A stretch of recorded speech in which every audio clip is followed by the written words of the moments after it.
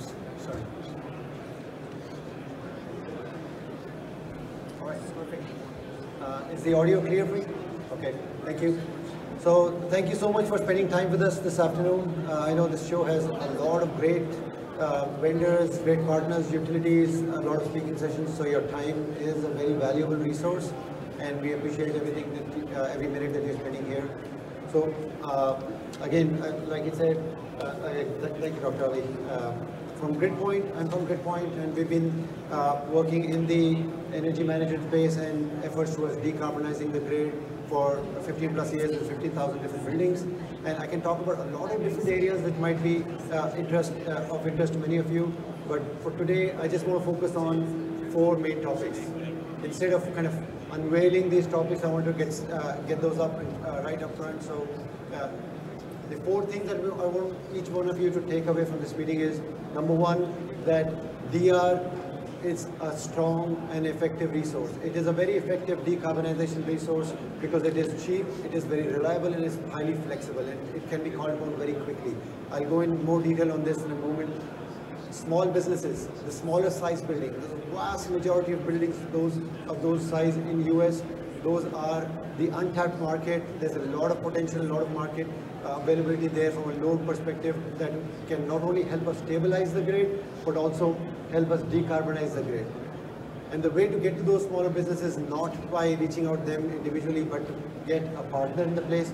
So partners can not only create a strong business case where it can be meaningful for the customer, but also value stack features so that it can really, really uh, unblock sales and make things a lot faster. The other thing that a, a, technology partner can do in these scenarios is that we can have an expandable solution. It's not only important to just factor in a given specific uh, distributed energy resource like an HVAC, but also build a system where it is an expandable system where when the storage is economical, when the uh, generation is economical on site, we can layer in those. So it's a bundled solution which starts with a given unit which is proven and defined, but expands into more and more features as the market and economics are available and ready for those. So in terms of the overall market and grid, one of the key challenges has always been uh, uh, ensuring grid reliability and availability. There are multiple ways to get to that, and some of those are about purchasing energy across state lines, and others are about uh, getting renewable set up or even set up peaker plants. All of those are very expensive options. Many of those are not always available, and many of those options actually further tax the grid on the carbon. So there comes in DR. DR is a very reliable and a cheap resource that can be called upon. And it's not a new technology, it's been there for many, many years. It's been a proven technology for larger commercial buildings, industrial buildings, where they could build in a large megawatt for a given unit or a given building and create a meaningful impact and give the resource back to the grid. But even though it is a very defined, reliable and cheap resource, it's not really caught on to the pace that it should have been. Uh, FERC says from 2017 to 2018, it only grew only 8%. And uh, we want to look at why the growth is not so much compared to the potential that it has. And one of the core reasons it has not grown as much is because it has been generally focused towards large commercial buildings or industrial buildings. And those buildings are big, heavy resource consumers, but those are smaller in number. So th that's the focus for uh, our discussion that why not consider small to medium-sized buildings uh, the census data says about the 5.6 million buildings in US, good chunk of two, about 2.8 million of those buildings are under 5,000 square feet. What that represents is a vast capacity of buildings that can be reached out. But those are generally not the core target for utility programs, for the aggregators, and uh, one of the PJM reports suggests less than 10% of those uh, DR programs and demand response efforts are targeted towards those smaller buildings. 47, 48% of those are towards larger buildings because business-wise, DR can stand alone in those buildings and make sense. But the smaller buildings, it generally does not. A small building like a quick serve restaurant or a taco shop might have one or two rooftop units. And each of those can only contribute a small portion of those that load. And utility cannot reach out to those, it's not cost effective. The cost of acquisition is too small to get to those individual buildings. So from a small business perspective, uh, they, they're not really appreciating or getting into this program. They want a program uh, in a DR sense, which is low cost, does not disrupt their core business in, in terms of uh, maintaining comfort for their customers, maintaining the, uh, keeping the lights on for their business, uh, and having a lot more automation in place. Plus, the whole program needs to be simple. They have tough enough time maintaining their own core business, let alone understanding what is KWH versus KW versus what program. So they, they want a system which is simple and easy to implement, lets their small load be part of the larger game and become part of the uh, larger picture. And when you, when you look at the same thing from a utility perspective, they cannot go chase individual small businesses, so they want low cost of customer acquisition. They want a sizable load. One kilowatt is not somebody anybody would even blink towards. But a thousand of those buildings can be a meaningful load. But capturing those thousand buildings is not something that is easy for the utility or aggregate traditional DR aggregators or the programs. And I think that's where a technology partner uh, or an integrated uh, integrator from a technology aggregation can come in play. Where one of the core values that we can provide as a technology partner, and GridPoint being one of those technology partners, is that we could aggregate those individual small businesses. They might be a, a laundromat or a Burger King or, or, a burger shop or a Taco Bell. Uh, but getting those together as a large enterprise, they still work together as a meaningful, sizable load, which is uh, which you can grab attention from a utility. And it makes the line of communication much simpler, consistent communication from the utility standpoint. They only talk to one person, one partner, which could be the partner, not individual stores. The stores are happier because now their load, they can contribute to the load. They can trust a system that is uh, that can basically create additional revenue for them from a DR perspective while not disrupting their core business. And on top of that, there are additional layers of real-time uh, uh, load forecasting, uh, commitment from a partner, and also real-time tracking of how the portfolio is performing. All of those things together make a sizable opportunity for a technology partner to come in and aggregate a lot of those smaller businesses into a meaningful, sizable load for the for the small businesses. And the it still isn't a clear put until we create uh, create sell until we create a very strong business case for the small business uh, for those small business owners. So the two pivot for any business case are the value proposition and the cost side. So the best way to explain the, uh, I'll go over the value section first. And the best way to explain the value proposition is to not talk about DR as an individual uh, value prop. Because DR for a large industrial plant can be a strong value business by itself. It pencils out. But for a small business, the load is too small. DR by itself would not hold on to value prop. So the core function is combine energy efficiency and demand response together and layer in additional benefits. The systems that sold in those smaller businesses would be about comfort management, about energy management, and the system should pay for itself. And DR is on, uh, revenue on top, like gravy on top of those systems. The energy rebates, uh, which would be further adding on to the value stuff. And most importantly, when the market is ready, when the industry is ready, you already have the pipeline in place, you already have the capabilities in place to layer in solar and storage and those additional benefits which are not cost effective right now for small businesses. And just because they are not cost effective right now does not mean the industry is not moving that direction. In two, three, four years, those are captive sites that the pro utility program would want to get towards. Those are not individual assets that we would like to deploy on smaller sites. Those are expandable capabilities that uh, the utility programs, the technology providers and small business would like to get towards. So they, uh, again, to recap, the value proposition for small businesses cannot just hang on DR.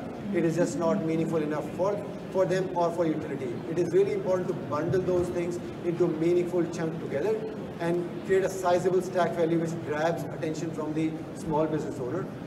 And the, uh, th that model also somewhat exists today.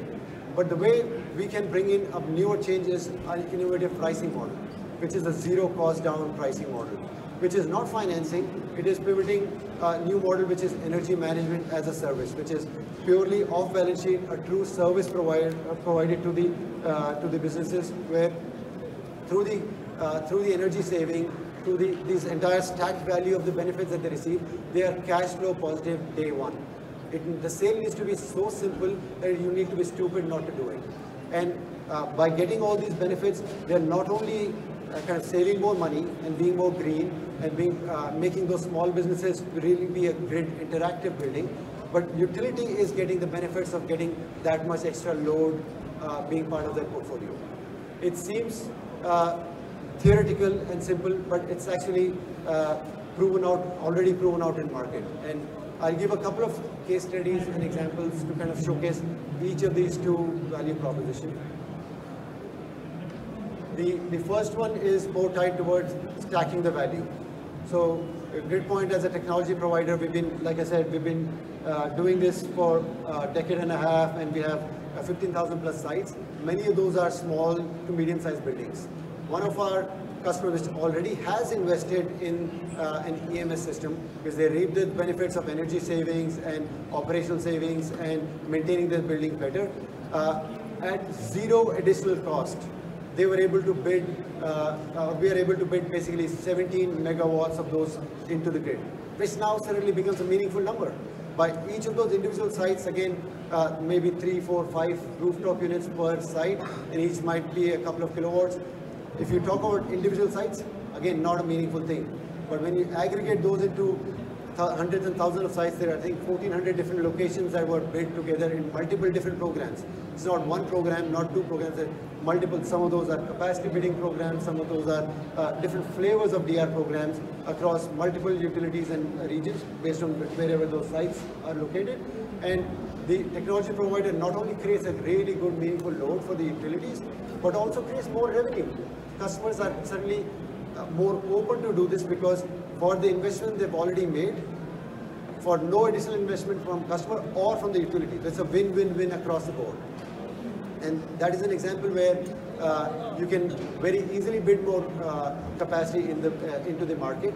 And not only bidding the capacity, GridPoint or a provider like us, we could provide a, clear, more reliable load forecasting, a lot more surgical uh, positioning on where we would uh, provide those kind of DR events and issues, and also provide uh, real-time monitoring and forecasting of where the event happened. We monitor those sites for an, a clear case of M&V. So the whole gamut of planning, forecasting, execution, uh, and M&V, everything happens automatically, and it's sub 10 minute interval. So it's a very quick reacting, cheap, in fact, in this case, at no cost, and a meaningful, sizable load that gets bid, into the market. So uh, I'm just trying to create the scenario and expectation from you that it is a meaningful scenario just by value stacking. And the other side of the benefit that I've talked about was about the pricing model. So here's another customer which has a lot of different sites and they do not have any EMS in place right now. Typically what happens is they would have to put in, put in thousands of dollars upfront to create like an energy management system which is grid interactive so they can create uh, and manage loads. But and what that does is ties uh, those units to capital cycles. Every year you might allocate X number of dollars. It's a multi-year rollout project. But based on this new pricing model where as the green bar or the red bar shows uh, a small monthly fee and the stacked value of all those benefits with the largest of those being energy saving, core energy savings, consumption savings and uh, rebates and uh, DR, everything gets on top of that. But all of those value stacks makes it a no-brainer for them to choose. And not only take on the system, but more importantly, roll out on a very quick basis. So it's a 13-month rollout for the entire uh, 2,000 plus sites. And what it does is, in a quick clip, adds those sites and make those grid interactive. Those become, this is a QSR, so one or two rooftop units are uh, grid eligible. So it's a smaller load, but when you look at it, these 2,000 sites or this load from a residential perspective, this is almost like getting 6,000 sites with a 50% or 40% acceptance rate and one or two units uh, kilowatts per home. So it's, it's almost like saying with a click of a button, you have thousands of residential sites loaded in. When you compare those scenarios, again, this becomes a zero cost utility, revenue coming into the customer. That becomes a second value prop how we make that thing work. So going back to the overall pitch that uh, I had or a key message that I want to circulate, uh, I want to make sure we all remember that DR is not just an ancillary uh, kind of gravy on top for uh, larger commercial buildings. It is a very meaningful uh, grid interactive load which could help in decarbonizing and stabilizing the grid. Small business is the next big opportunity. It is the next big white space and people like us are uh, available as partners to make this happen. This is not something that small businesses can do by themselves. This is not something that utility can do by themselves. It takes a village. It basically needs a partner to kind of get those things, sites aggregated to make things uh, really come together.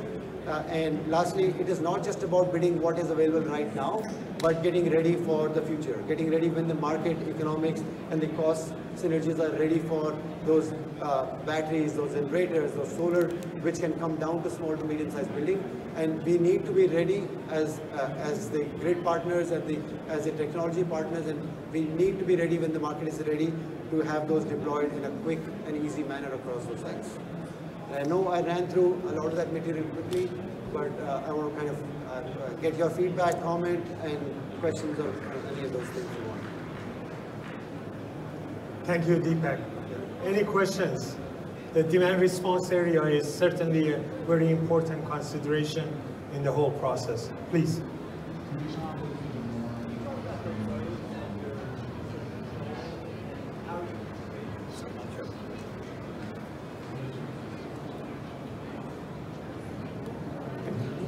Hello?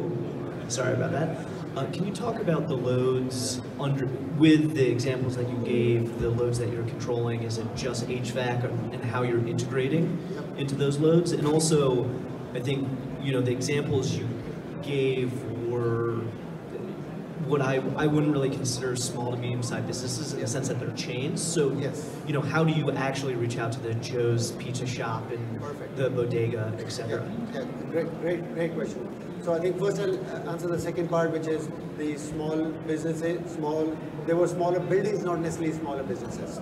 So I think uh, I should have probably clarified that as part of my discussion that uh, the smaller size buildings are behaving and interact the same whether they're part of a single store like a small uh, Deepak's Taco Shop or a Chipotle which is a 2000 stores.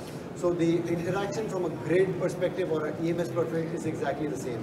The reason I chose the enterprise examples right now because those are easier examples to demonstrate right now because that is the industry that is happening right now and that's exactly emphasizing to the point that those individual small businesses are not yet chased as much as they need to be chased. So I wanted to give the example, would, the numbers would be exactly the same if those were 2,000 different types of businesses because at the end of the day, the load, which is the first part of your question, the load that is coming to play right now is predominantly about smart HVAC controls. And the way we are getting into those buildings is we have a lot of sensors installed, we have hardware installed, uh, we control the HVAC through thermostatic control or BACnet control uh, when we are in there. And then what we build into those markets are primarily the HVAC load, but we have capability for lighting, which is not as popular, but the, the platform is set up to expand into water heating, into generation, uh, generators if they're on site, and again, setting it up for, for future for storage as it comes along.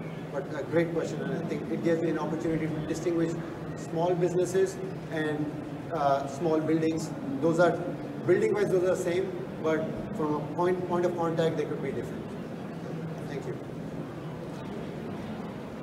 Any other questions or comments?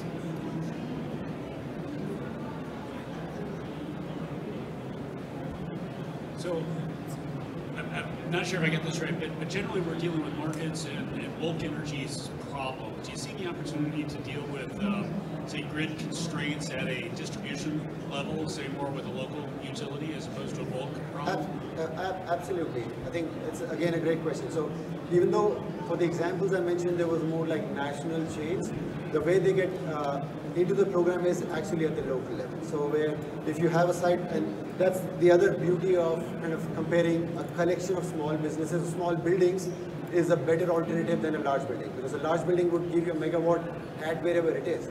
But small buildings are spread all over the country, so we can have very surgical load sheds.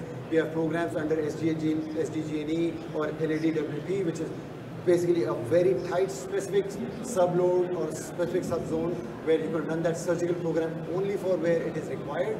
And if you have wider spread need, it could be wherever it is required.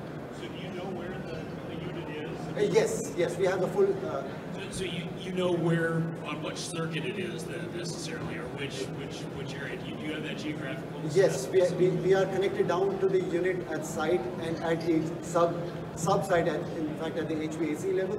So we, we, we are not just broadcasting a connection. It is we are controlling. It is also important to know that we are not just shutting it off. It is controlled within the comfort bounds within a given HVAC which is tied to site, which is tied to subset. So it is highly surgical. And even within a given site, for instance, the pharmacy store, you would never want to touch the pharmacy HVAC because it's a food, uh, medicines and food quality. We can never, uh, those are never to be touched. Only the units that can be played with, is a comfort uh, zone for a customer dining area, only minute, but the kitchen could be a little longer, manager's office could be longer. So different uh, strategies based on where the unit is within the site is uh, dynamically controlled and managed around that. Very good. Any other comments? Perfect. Thank you so much Thank for you your much. attention. And we are at booth uh, 3530. Please do stop by for more details. Well, our, our next presentation